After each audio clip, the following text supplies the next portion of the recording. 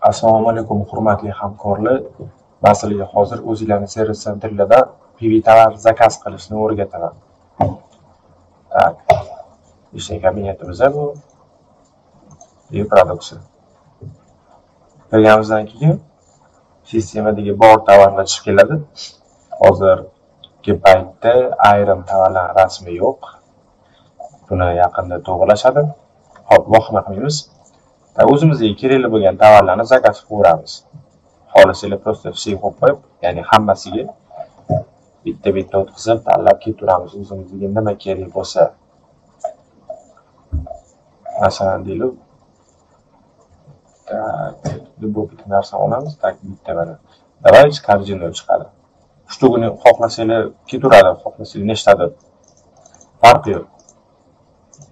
O'zinglarga kerakli bo'lgan количествоni tanlab добавить корзина qilaverasizlar uch beshni так yana kerakli bo'lgan narsani tars olamiz tirs kiritamiz и keyin перейти к bor bosamiz bu yerda ya'ni login so'raydi shu yerda просто servis sentrimizni raqamini kiritib qo'yamiz подтвердить и bo'ldi так pastga tushamiz ko'ramiz nechta urganimizni summasi и общая сумма и уже оформить заказ. Оплатить сейчас. Подтвердить. Bo'ldi shu bilan tovar zakaz qilindi. Так вот. Shu bilan shunaqa.